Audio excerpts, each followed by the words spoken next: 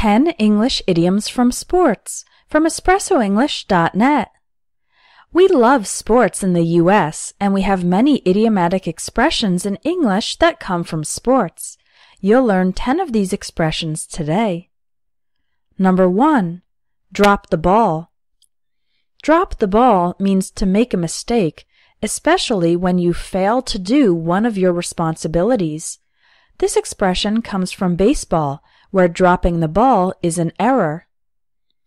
For example, I was counting on Pete to finish his part of the project, but he completely dropped the ball. This means he didn't finish his part of the project. He failed to complete his responsibility. Number two, run interference. Run interference means to help someone by resolving problems for them or in their place. This expression comes from American football, where other players on the same team run interference by helping to protect the player with the ball.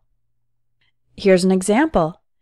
It's hard to rent an apartment in Stockholm unless you have a real estate agent run interference for you. In other words, it's hard to do this alone, so you need a real estate agent to help solve the problems for you. The agent will run interference for you. Number three, take a shot at, or give it your best shot. The expression take a shot means to try something, and give it your best shot means to try your best. In basketball, as well as soccer, hockey, and several other sports, a shot is an attempt to put the ball into the basket or goal. So, take a shot more generally means to try, to make an attempt. For example, I can't solve this math problem. Do you want to take a shot at it? I'm not sure if I passed the test, but at least I gave it my best shot. Number four, show someone the ropes. This idiom means to teach someone how to do tasks or processes. This expression comes from sailing, where you need to know how to manage the ropes in order to control the boat. For example, it's my first week on the job, so the manager is showing me the ropes. Number five, jump the gun. The idiom jump the gun means to do something too early or too soon, before the correct time.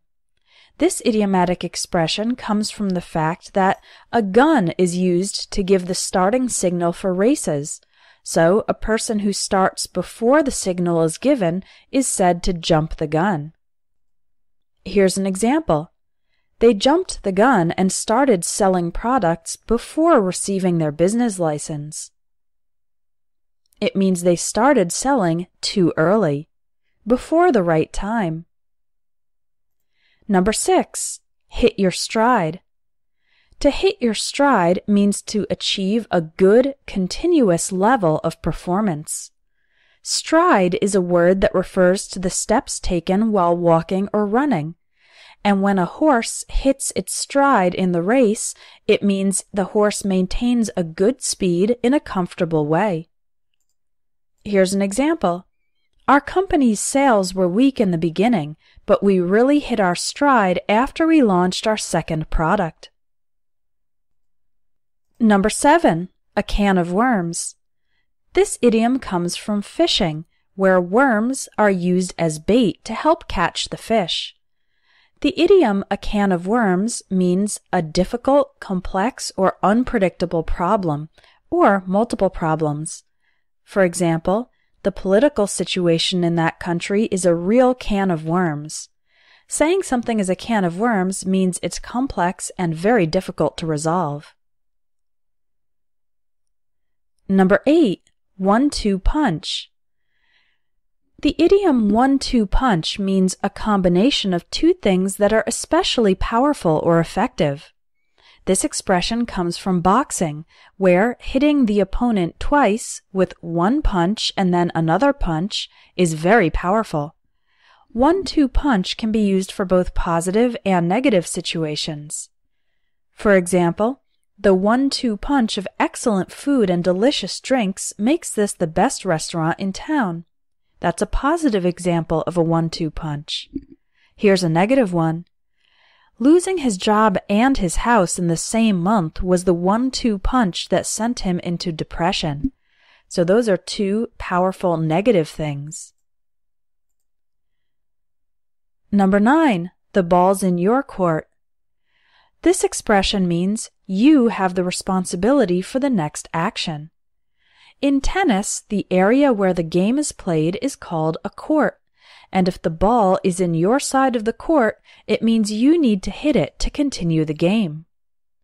For example, I've offered her $15,000 for her car. The ball's in her court now. That means it's her responsibility to make the decision about whether or not she will sell the car. Number 10. Par for the course. Par for the course means something normal and expected. The area where golf is played is called a course and the word par refers to the average number of tries necessary to put the ball in the hole. So that's why par for the course means something average, normal, and expected in a certain situation. For example, of course the classes for your master's degree are difficult. That's par for the course. It is expected that doing a master's degree would involve taking difficult classes. You can discover hundreds of new idiomatic expressions in my English idioms course. I'll teach you the common idioms that are used in everyday spoken English. Just click on the link in the video for more information and to take a free sample lesson.